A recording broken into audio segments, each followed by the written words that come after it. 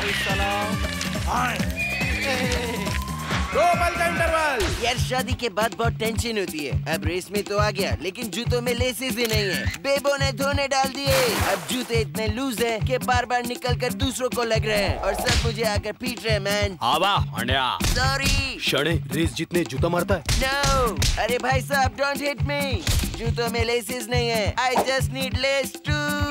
दो पल का इंटरवल है ए शायद लेसेस है क्या